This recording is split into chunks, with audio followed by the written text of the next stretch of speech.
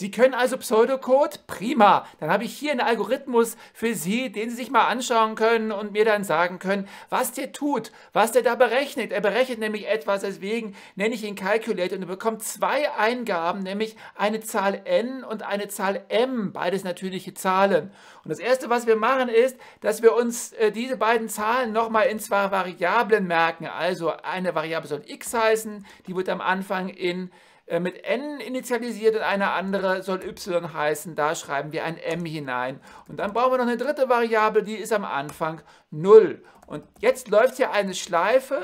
Solange das x größer gleich 1 ist, machen wir folgendes. Wir machen eine Fallunterscheidung. Und zwar schauen wir uns an, ist das x gerade oder ungerade. Es bleibt während des ganzen Algorithmus nämlich eine ganze Zahl. Wenn x also eine gerade Zahl ist, dann machen wir folgendes. Wir überschreiben das x mit einem neuen Wert, nämlich mit x halbe. Und ansonsten, also else, machen wir was anderes. Zum einen überschreiben wir das x ebenfalls, aber jetzt nicht mit x halbe, das würde ja auch nicht aufgehen. Wir wollen ja, dass es eine ganze Zahl bleibt. Deswegen ziehen wir erstmal 1 ab und teilen dann das Ergebnis durch 2. Und jetzt ändern wir auch das P. Wir schreiben nämlich in das P eine Zahl rein, wo das Y tatsächlich drauf addiert wird. Also P wird zu P plus 1. Und in beiden Fällen, also sowohl wenn x gerade ist als auch ungerade, verändern wir auch noch das y. Wir verdoppeln es nämlich. y wird zweimal y.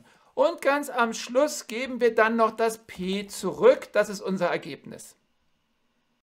Sie sehen sicherlich sofort ein, dass wenn man jetzt Pseudocode versteht und hier irgendwelche Zahlen n und m einsetzt, dann kann man sehr gut nachvollziehen, was er macht. Man muss jetzt nur durchgehen und dann kann man am Schluss sehen, was dieses p dann ist. Was aber das Ganze soll, wozu der Algorithmus überhaupt gut ist im allgemeinen Fall, wenn man ihm irgendein M&M übergibt, das kann man ihm nicht so direkt ansehen und deswegen gebe ich Ihnen jetzt einen Tipp. Dieser Algorithmus läuft nämlich auch unter dem Namen ägyptische Multiplikation. Es ist nämlich so, dass Calculate von n und m für alle n und m aus den Mengen der natürlichen Zahlen immer das Produkt von n und m berechnet. Deswegen heißt es hier auch p, p wie Produkt. Da fällt mir gerade ein Witz ein, der geht so. Treffen sich zwei Leute, sagt der eine zum anderen, du, ich kann echt super schnell rechnen. Sagt der andere, okay, das prüfen wir mal. Wie viel sind denn zum Beispiel 317 mal 468? Zwei Millionen! Das ist völlig falsch. Ja, aber unheimlich schnell. Was nützt uns der schönste und schnellste Algorithmus, wenn er falsch ist, wenn er nicht das richtige Ergebnis liefert? In dem Fall hier, wenn es tatsächlich eine Multiplikation ist, dann sollte bitteschön, wenn ich n gleich 317 und m gleich 468 setze, nicht 2 Millionen rauskommen.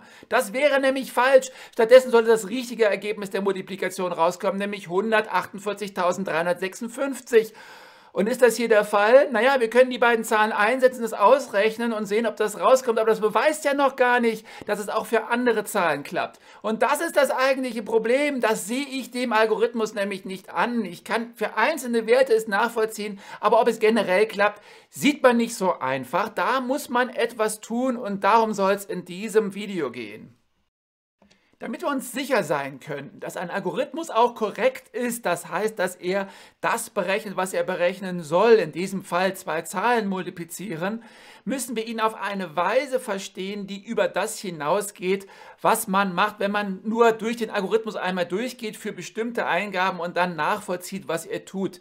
Wir müssen ihn so durchdringen, dass wir uns sicher sind, dass für alle Eingaben auch das Richtige berechnet wird. Wir bräuchten jemanden, der uns den Algorithmus erklärt und zwar so erklärt, dass wir ihn richtig verstehen, dass wir wissen, dass er korrekt ist. Anders gesagt, wir brauchen einen Korrektheitsbeweis. Beweis im Allgemeinen bedeutet ja ein Text, der uns schlüssig und lückenlos belegt, dass etwas der Fall ist, also hier, dass der Algorithmus korrekt ist. Und das ist leider gar nicht einfach. Da gibt es mindestens zwei Probleme. Ich habe die hier mal hingeschrieben. Das eine Problem ist, dass es eben nicht ausreicht, es für ein paar Beispiele mal durchzurechnen und dann zu sehen, ja, bei diesen Beispielen klappt es es gibt ja unendlich viele Eingaben und nur weil ich es für endlich viele mal ausprobiert habe, heißt das nicht, dass es für alle anderen, für die ich es nicht ausprobiert habe, auch funktioniert. Ein Korrektheitsbeweis beweist die Korrektheit für alle Eingaben und wenn das unendlich viele sind, kann man die unmöglich alle durchprobieren und die Korrektheit für jedes einzelne zeigen. Also braucht man ein Argument, das nicht sagt, das und das ist die Eingabe, sondern generell allgemein für alle möglichen Eingaben funktioniert und dann die Korrektheit zeigt. Das zweite Problem ergibt sich daraus, dass ein Beweis, damit er nützlich ist, auch so sein muss, dass man ihn verstehen kann. Man muss ihn durchlesen können und verstehen können. Das heißt, das muss ein Text sein mit fester Länge. Das kann kein unendlich langer Text sein oder ein Text, dessen Länge variiert, je nachdem, äh, welchen Fall ich mir anschaue, sondern ein fester Text fester Länge. Und das ist ein Problem, weil nämlich der Ablauf eines Programms, oder schreiben wir an dieser Stelle korrekterweise eines Algorithmus, ja keine feste Länge hat. Wie oft eine Schleife durchlaufen wird zum Beispiel oder wie viele rekursive Aufrufe geschehen, hängt von der Eingabegröße ab. Und bei vielen Algorithmen, so auch bei der ägyptischen Multiplikation, steigt die Anzahl der Schleifendurchläufe mit den Eingabegrößen. Je größer ich die Eingabe wähle, desto häufiger wird so eine Schleife durchlaufen. Ich kann den Beweis also nicht so aufziehen, dass ich sage, beim Schleifendurchlauf 1 macht er das und das, beim Schleifendurchlauf 2 macht er das und das, beim Schleifendurchlauf 3 macht er das und das und immer so weiter. Denn die Zahl der Schleifendurchläufe ist ja nicht begrenzt, das kann ja immer, immer mehr werden. Und dann würde mein Beweis immer länger und länger werden, wäre am Ende unendlich lang und das kann ich nicht gebrauchen. Wenn ich also die Korrektheit beweisen will von einem Algorithmus, der beispielsweise eine Schleife enthält, dann kann ich nicht jeden Schleifendurchlauf einzeln erwähnen, sondern ich muss es genereller machen. Ich muss ein Argument finden, das die Korrektheit von Schleifendurchläufen zeigt, und zwar für beliebige Schleifendurchläufe. Man kann sich das so vorstellen, als würde ich Argumente recyceln. Ja, wenn die Schleife tausendmal durchläuft, dann benutze ich dasselbe Argument für jeden einzelnen Schleifendurchlauf und muss das dann eben nicht tausendmal wieder hinschreiben, sondern es ist immer dasselbe Argument, das für jeden einzelnen Schleifendurchlauf zeigt, dass der korrekt ist, was auch immer das heißt. Das müssen wir uns gleich nochmal überlegen. Und dann muss aus der Korrektheit jedes einzelnen Schleifendurchlaufs die Korrektheit des gesamten Algorithmus gezeigt werden. Wie man das machen kann, Argumente für Schleifendurchläufe zu recyceln, dass sie für beliebige Schleifendurchläufe funktionieren, da schauen wir uns später an. Da gibt es nämlich einen Trick, das sind die sogenannten Schleifeninvarianten. Vorher noch eine andere Sache. Es gibt nämlich zwei verschiedene Aspekte der Korrektheit. Um zu beweisen, dass ein Algorithmus korrekt ist, müssen wir nämlich zum einen zeigen, dass er überhaupt ein Ergebnis berechnet und zum anderen müssen wir dann zeigen, dass es das richtige Ergebnis ist. Was heißt denn, er berechnet überhaupt ein Ergebnis? Ist es nicht so, dass jeder Algorithmus ein Ergebnis rechnet?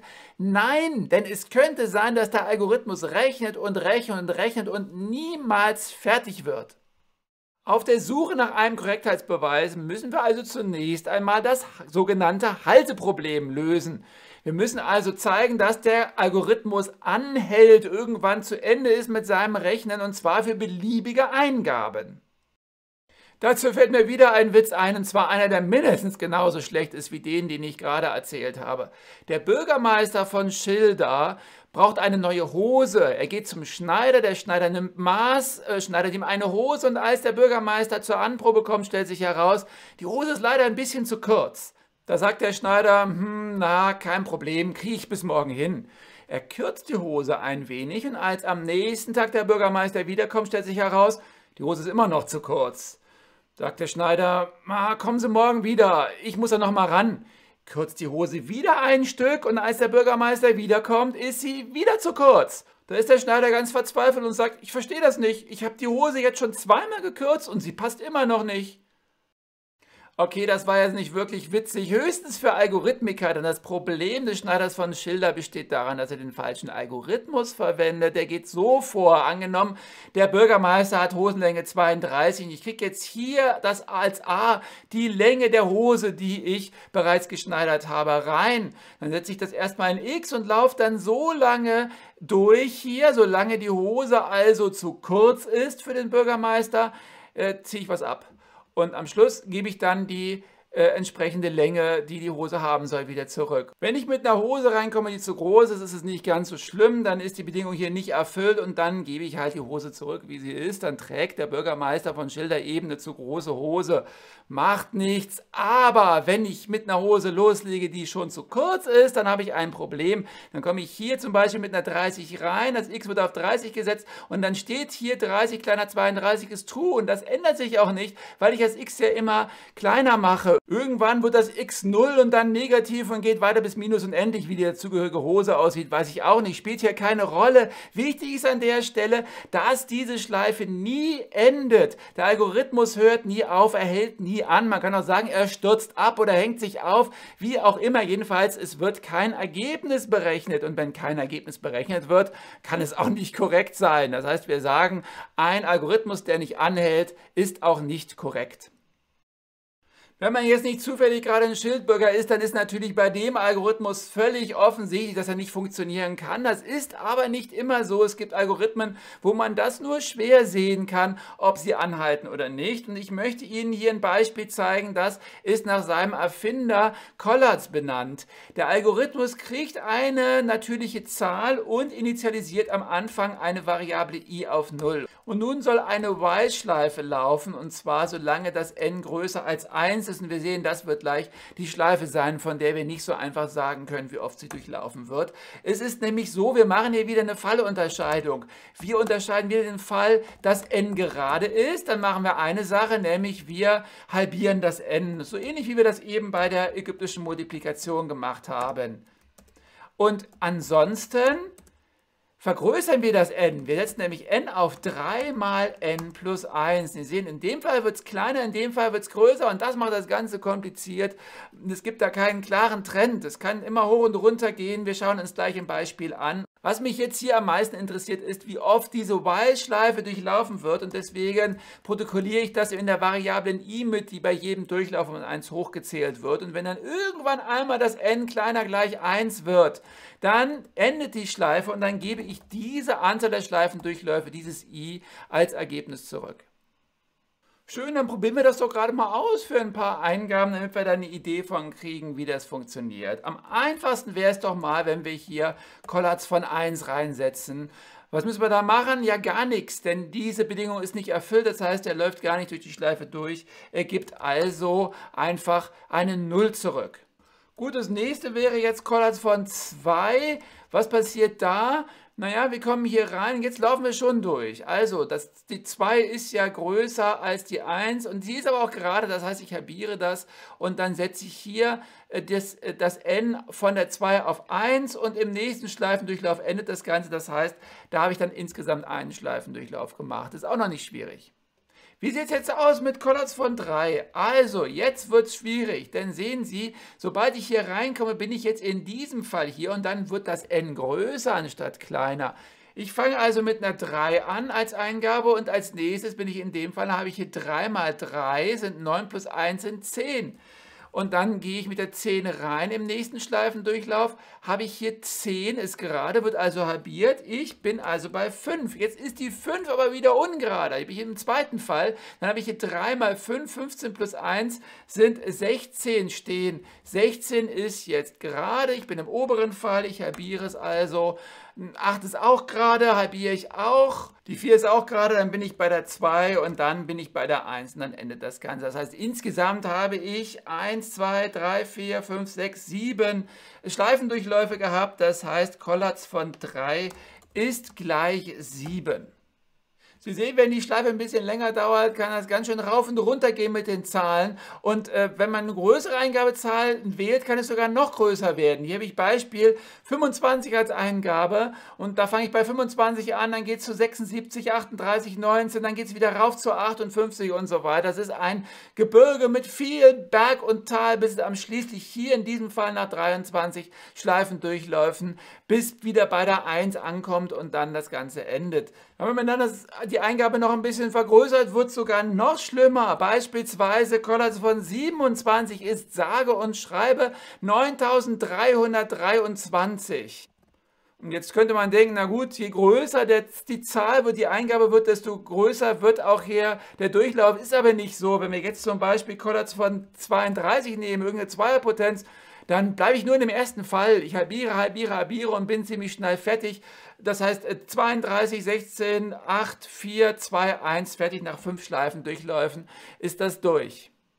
Und jetzt frage ich Sie, schauen Sie sich nochmal den Algorithmus an. Hält der für alle Eingaben n oder gibt es eine natürliche Zahl n, die, wenn ich jetzt hier das n als Eingabe gebe, dafür sorgt, dass diese Schleife unendlich lang durchlaufen wird und der ganze Algorithmus niemals zum Ende kommt?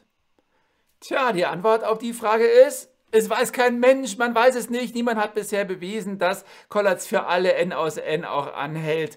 Es kann also durchaus sein, dass wenn Sie hier durch das Collatz-Gebirge spazieren gehen, Sie irgendwo in der Mitte abstürzen und niemals ans Ziel kommen. Der Collatz-Algorithmus ist also ein Beispiel für einen ziemlich einfachen Algorithmus, bei dem das Halteproblem sehr schwer zu lösen ist, wo man nicht sehen kann, ob der immer anhält. Zum Glück ist es bei Calculate, bei der ägyptischen Multiplikation anders. Da kann man das ziemlich leicht zeigen. Schauen wir uns nochmal den Algorithmus an. Die Anzahl der Schleifendurchläufe hängt ja von dem x ab. Solange das x größer gleich 1 ist, laufe ich noch weiter durch die Schleife durch. Am Anfang wird das x auf n gesetzt. Das heißt, letztlich ist es das n, was bestimmt, wie oft die Schleife durchlaufen wird. Da das n hier eine natürliche Zahl ist, also eine ganze Zahl ist, ist das x am Anfang eine ganze Zahl. Und jetzt ist es so gestrickt, dass wann immer ich hier das x verändere, ist anschließend auch noch eine ganze Zahl ist. Wenn jetzt x gerade ist, kann ich es durch 2 teilen, dann ist das Ergebnis hier von x durch 2 wieder eine ganze Zahl. Und wenn das x ungerade ist, dann ziehe ich 1 ab und x minus 1 ist dann gerade, dann kann ich das durch 2 teilen. Das heißt, ich habe jetzt diese beiden Eigenschaften hier, x am Anfang n und damit eine ganze Zahl. Und x bleibt auch immer eine ganze Zahl. Und dann kommt die dritte Sache, dritte Beobachtung, solange das x größer als 0 ist, wird x bei jedem Schleifendurchlauf kleiner. Ja, und das ist ganz klar, wenn das x größer als 0 ist, ist x halbe kleiner als x und auch erst recht x minus 1 halbe ist kleiner als x. Das heißt, x wird immer kleiner. Und dann haben Sie diese drei Eigenschaften und als viertes kommt das hier. Die Schleife bricht ab, sobald das x kleiner gleich 0 ist. Nun gibt es zwischen der natürlichen Zahl n und der 1 ja nur n Zahlen. 1 ist ja der kleinste Wert, den x erreichen kann. Und da sich das x ja jedes Mal verändert, es wird ja jedes Mal kleiner und es aber die ganze Zeit eine ganze Zahl bleibt, heißt das ganz einfach, die Schleife kann höchstens n mal durchlaufen werden. Nach n Schleifen durchlaufen endet der Algorithmus und das heißt, er endet für alle Eingaben, denn bei jeder Eingabe geben wir ja ein n an als eine der beiden Eingaben und dadurch ist eben äh, beschränkt die Anzahl der Schleifendurchläufe. So, das erste haben wir also geschafft. Wir haben gezeigt, dass die ägyptische Multiplikation immer hält, egal was wir für eine Eingabe machen und dann auch eine Ausgabe produziert. Als nächstes müssen wir uns überlegen, ist das denn auch die richtige Ausgabe? Das heißt, kommt dann tatsächlich am Schluss das Produkt der beiden Eingabeparameter n und m heraus und das schauen wir uns jetzt an. Zunächst einmal ist klar, ein Algorithmus ist eine Methode, die ein Problem löst und zwar nicht in einem Schritt, sondern in mehreren Schritten hintereinander. Es gibt also hier irgendwo eine Eingabe und dann wird diese Eingabe verarbeitet. Es gibt Schritt 1, Schritt 2, Schritt 3 und so weiter, bis am Schluss Schritt k kommt und k ist irgendeine Zahl, die natürlich von der Eingabe abhängt. Ja, haben wir ja vorhin gesagt, je größer das n wird, desto größer wird hier das k beispielsweise und dann haben wir am Schluss eine Ausgabe und die wird zurückgegeben. Damit das Ganze korrekt ist, muss natürlich bei jeder Eingabe dann hier am Ende die richtige Ausgabe herauskommen. Und äh, wie zeigen wir das? Nur, wir müssen einfach nur zeigen, dass die ganzen Schritte in der Zwischenzeit korrekt sind, dass sie also alle richtig arbeiten, damit am Schluss bei der Eingabe die richtige Ausgabe herauskommt. Da müssen wir jetzt allerdings sagen, was heißt denn überhaupt, dass ein Schritt korrekt ist? Und das ist ein Problem, da müssen wir gleich nochmal drüber reden. An der Stelle ist Folgendes wichtig, wir müssen uns mal überlegen, was kann das überhaupt sein, dass man sagt, ein Schritt ist korrekt? Kann ein Schritt für sich genommen korrekt sein? Und die Antwort ist, na, eher nicht. Stellen Sie sich mal Folgendes vor, das ist jetzt hier ein Fließband und da werden Autos produziert. Also Schritt 1 besteht zum Beispiel darin, dass eine Karosserie aufs Band gestellt wird. Schritt 2 besteht darin, dass jetzt die Räder an die Karosserie äh, hingesteckt werden und bei Schritt 3 werden dann die Räder mit Schrauben befestigt.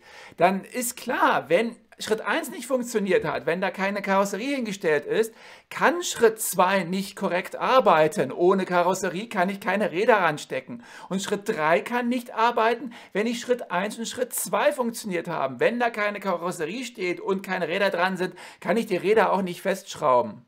Die Korrektheit eines Schrittes hier in der Kette hängt also immer davon ab, ob auch die Schritte davor korrekt gewesen sind und richtig gelaufen sind. Nur dann kann ich überhaupt davon sprechen, dass der nächste Schritt jetzt auch korrekt ist. Und genau so wird unsere Beweisstrategie aussehen. Wir werden immer sagen, angenommen, bis zu einem Schritt I, und I soll hier irgendwie einer von diesen Schritten sein, ist alles gut gelaufen. Und jetzt will ich unter der Bedingung, dass bis Schritt I alles gut gelaufen ist, schauen, ob es dann auch mit dem nächsten Schritt, mit dem Schritt I plus 1 alles korrekt zugeht. Wir machen hier also immer einen Schluss von i auf i plus 1, also von der Korrektheit aller Schritte von 1 bis i auf die Korrektheit des i plus ersten Schritts, des nächsten Schritts. Und wenn wir die gezeigt haben, haben wir ja die Korrektheit von 1 bis i plus 1. Dann können wir von denen wieder schließen auf die Korrektheit des i plus zweiten Schrittes, des übernächsten Schrittes und so weiter, bis wir am Ende dann bei Schritt k angekommen sind. Und wenn wir die Korrektheit von k auch bewiesen haben und dann alle Schritte korrekt sind, dann müssen wir noch zeigen, dass die richtige Ausgabe entsteht und dann haben wir die Korrektheit bewiesen. Dieses Beweisprinzip hier ist auch bekannt unter dem Namen Induktionsbeweis. Kennen Sie vielleicht aus der Mathematik, da spricht man auch über ein ganz ähnliches Schema von vollständiger Induktion. Es beruht einfach auf folgender Idee. Wir zeigen erstens, dass der Schritt 1 korrekt ist, der erste Schritt. Und dann, das ist der Schluss von i auf i plus 1, zeigen wir, für alle i gilt, wenn der Schritt 1 bis i, also alle vorangegangenen i-Schritte korrekt waren, dann ist auch der nächste Schritt, der i plus erste Schritt korrekt. Und da wir diesen Schluss hier unten, diesen Punkt 2 ja immer weitermachen können, können wir also dann auch auf i plus 2, auf i plus 3 und so weiter gehen und können auf diese Weise die ganze Kette lang beweisen, dass alles korrekt ist. Wir recyceln sozusagen das Argument hier unten für alle Schritte, die da kommen mögen, bis zum Kartenschritt und k müssen wir gar nicht festlegen. Das hängt ja von der Eingabe ab. Das kann also beliebig lang dauern, dieser Algorithmus, beliebig, viele Schritte haben. Am Schluss müssen wir nur diese diesen, äh, dieses Argument hier anbringen und dann haben wir gezeigt, dass alle Schritte korrekt sind. Wie kann ich jetzt dieses Schema anwenden, um tatsächlich die Korrektheit der ägyptischen Multiplikation zu beweisen? Nun, ich muss erstmal sagen, was die Schritte sind und da mache ich es mir einfach. Ich sage, jeder Schritt ist einer von diesen Schleifendurchläufen. Und dann ist klar, immer wenn ein neuer Schleifendurchlauf kommt, dann kommt eben der nächste Schritt. Und jetzt muss ich aber definieren, was die Korrektheit eines Schleifendurchlaufs ist. Und da benutze ich eine Technik, die in der Informatik gerne angewendet wird. Und das ist die der sogenannten Schleifeninvarianten. Invariante heißt, etwas verändert sich nicht. Eine Invariante ist eine Größe, die gleich bleibt, die sich nicht verändert. Und eine Schleifeninvariante ist eine, die sich bei einem Schleifendurchlauf nicht verändert. Was verändert sich da nicht? Das kann zum Beispiel ein Wert sein, irgendein Ausdruck, der eine Zahl ergibt und die Zahl, die dabei herauskommt, verändert sich nicht durch das Durchlaufen der Schleife. Andererseits könnte es auch zum Beispiel eine Aussage sein, die während der Schleifendurchläufe wahr bleibt. Schleifeninvariante bedeutet, dass der Wert oder die Aussage immer vor jedem einzelnen Schleifendurchlauf gilt und wenn das der Fall ist, dann auch nach jedem Schleifendurchlauf wieder gilt. Das heißt, die Schleifeninvariante gilt hier immer an diesen Stellen zwischen den einzelnen Schritten. Denn jeder Schritt soll ja ein Schleifendurchlauf sein. Innerhalb dieser Schritte, also wenn da mehrere Befehle stehen in einem Schleifendurchlauf, dann nehmen wir das jetzt hier im Moment als einen Schritt, muss die Schleifeninvariante nicht gelten. Erst am Ende des Schleifendurchlaufs muss sie wiederhergestellt sein und sie muss auch gelten ganz am Anfang, das heißt, bevor wir hier überhaupt in die erste äh, in den ersten Schritt reingehen und sie muss dann auch ganz am Ende, wenn wir den letzten Schritt ausgeführt haben, ebenfalls wieder gelten. Eine Schleifeninvariante, hier habe ich es nochmal hingeschrieben, ist also entweder ein Ausdruck, der vor und nach jedem einzelnen Schleifendurchlauf gleich bleibt oder auch eine Aussage, die vor und nach jedem Schleifendurchlauf wahr bleibt. Bei einem herkömmlichen Algorithmus gibt es natürlich nicht nur eine Schleifeninvariante, sondern da kann man sich sehr, sehr viele Schleifeninvarianten ausdenken. Also Ausdrücke, die gleich bleiben oder Aussagen, die wahr bleiben, immer vor und nach jedem Schleifendurchlauf. Wir müssen natürlich hier eine finden, die uns nützt. Eine Schleifeninvariante hatten wir vorhin tatsächlich schon verwendet bei dem Beweis, dass die ägyptische Multiplikation hält. Da hatten wir ja gesehen, dass das x immer eine ganze Zahl bleibt. Und das ist hier eine Aussage, die immer vor und nach jedem Schleifendurchlauf wahr ist. Vor jedem Schleifendurchlauf, auch ganz am Anfang, bevor überhaupt die erste Schleife durchlaufen wird, ist das x ja auf n gesetzt und das n ist eine natürliche Zahl und damit eine ganze Zahl. Also am Anfang gilt, x ist eine ganze Zahl. Und dann sind wir beide Fälle durchgegangen. Wenn x gerade ist, wird es halbiert, dann bleibt es auch eine ganze Zahl. Und wenn x ungerade ist, wird eins abgezogen und halbiert, dann bleibt das auch eine ganze Zahl. Und das bedeutet, dass wenn x vor dem Schleifendurchlauf eine ganze Zahl war, ist dann auch nach dem Schleifendurchlauf immer noch eine ganze Zahl war. Und nach dem Schleifendurchlauf, nach dem i-Schleifendurchlauf, ist ja dann vor dem i plus ersten Schleifendurchlauf. Dann ist es wieder vor dem i plus ersten Schleifendurchlauf eine ganze Zahl und entsprechend demselben Argument, das wir dann nicht nochmal erwähnen müssen, das wird recycelt, ist es dann eben auch eine ganze Zahl äh, nach dem i plus ersten Schleifendurchlauf. Und so geht das immer weiter und auf die Weise können wir dann zeigen, dass es ganz am Schluss eben auch noch eine ganze Zahl ist und die ist dann kleiner 0 und dann endet der Algorithmus.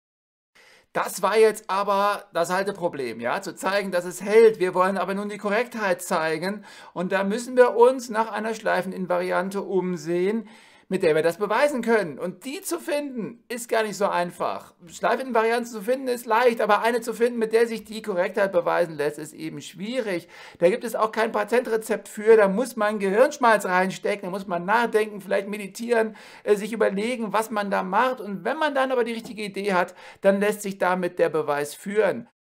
Schauen wir uns doch mal zusammen an den Algorithmus und überlegen, was wir hier für eine Schleifeninvariante wählen können.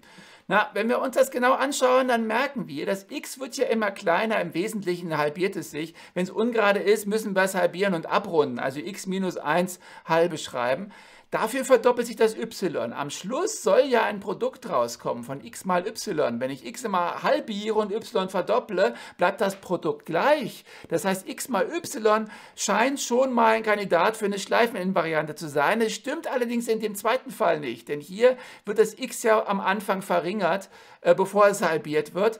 Dafür wird hier das p erhöht und zwar um den Wert y, bevor ich das y verdopple. Und wenn Sie hier das neue y mit dem neuen x multiplizieren und das x ist ja kleiner geworden, das ist ja nicht halbiert, sondern das x minus 1 halbe geworden, dann fehlt da ein Wert und es fehlt genau y. Das ist genau das, was wir hier in das p reingeschrieben haben. Wenn Sie das jetzt noch nicht genau verstanden haben, macht nichts, wir rechnen das gleich nochmal nach. Auf jeden Fall haben wir jetzt eine ungefähre Vorstellung, was für eine Invariante sein könnte. Es ist in diesem Fall ein Wert und nicht eine Aussage und wir wählen folgenden Wert hier.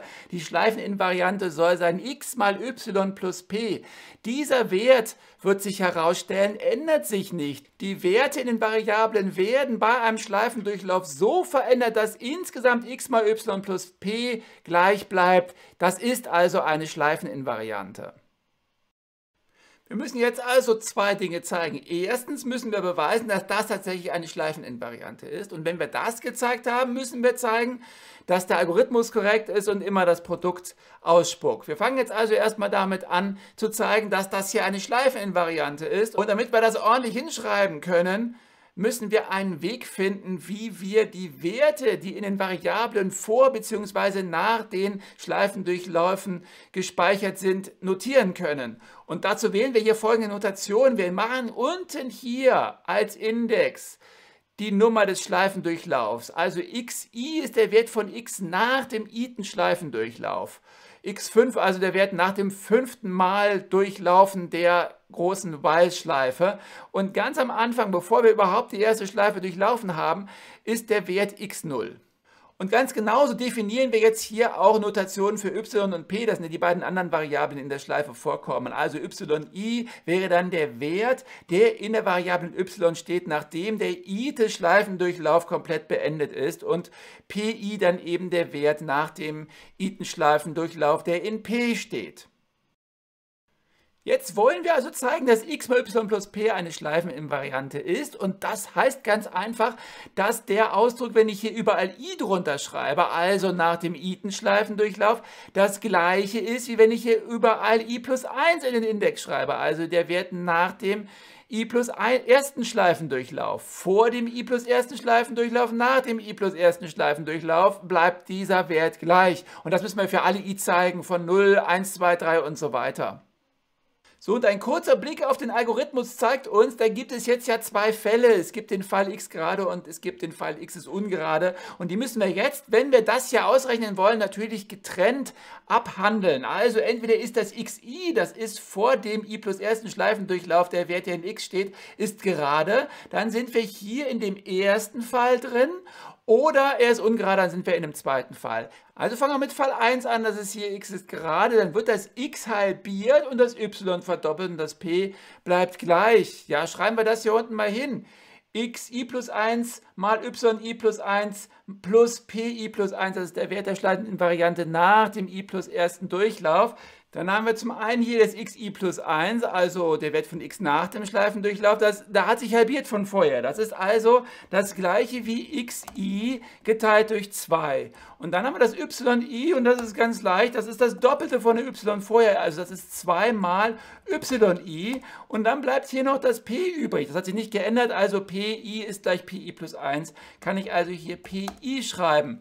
Und nun lässt sich natürlich hier diese 2 gegen diese 2 hier kürzen. Das kürzt sich raus. Das haben wir ja vorher schon gesehen. Wenn ich das eine verdopple und das andere halbiere, dann ist das Produkt natürlich das gleiche. Und das bedeutet, dass hier einfach xi mal yi plus pi steht. Und das ist genau das, was hier oben steht. Das ist ja genau der Wert der Schleifenendvariante vor dem i plus ersten Schleifendurchlauf. Zweiter Fall, das xi ist ungerade. Dann ziehen wir eins ab und halbieren es und verdoppeln wieder das y und das p wird entsprechend angepasst. Das wird erhöht um den Wert y und zwar um den Wert y, bevor es verdoppelt wird, also um yi. Schreiben wir das mal hier unten hin. Also Fall 2. Wir haben hier wieder xi plus 1, yi plus 1, pi plus 1, also die Werte am Ende der Schleife.